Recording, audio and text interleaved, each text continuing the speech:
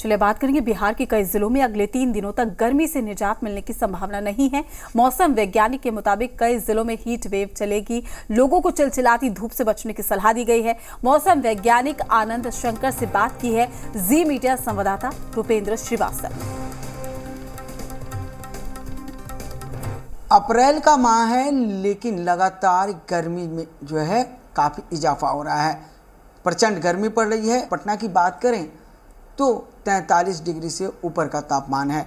तो वहीं बिहार के अन्य जिलों के भी तापमान बढ़ते जा रहे हैं। हमारे साथ मौसम वैज्ञानिक हैं, उनसे बात करते हैं। सर, आज का तापमान क्या है और आने वाले दिनों में क्या स्थिति रहेगी?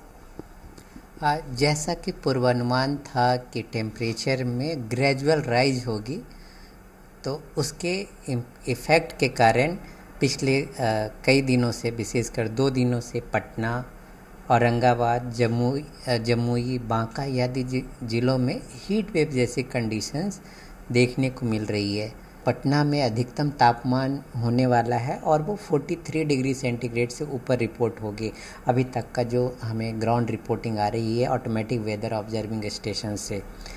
इसके इसके अलावा जो पूर्वानुमान की बात करें तो अगले तीन दिनों तक बिहार के अधिकांश भागों में विशेषकर साउथ बिहार के ज़िले, जैसे कि जमुई, बांका, नवादा, औरंगाबाद, पटना और नॉर्थ बिहार के कुछ ज़िले, जैसे कि पूर्वी चंपारण, सुपौल इत्यादि जगहों पे अगले तीन दिनों तक हीट वेव जैसी कंडीशन देखने को मिल सकती है।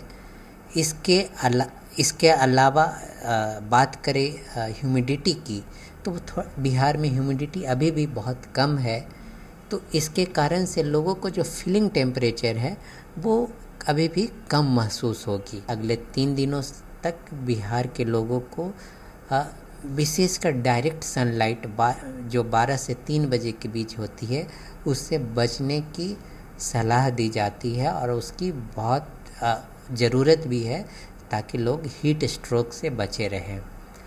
और जैसा कि पूर्वानुमान है तीन दिनों के बाद करीब 20 तारीख या 21 तारीख से थोड़ा सा टेम्परेचर में ग्रेजुअल फॉल हो सकती है। इस कारण से लोगों को थोड़ी जो अधिकतम तापमान है जो गर्मी है उससे राहत मिलने की संभावना है। बारिश होने की कोई संभावना भी आसपास?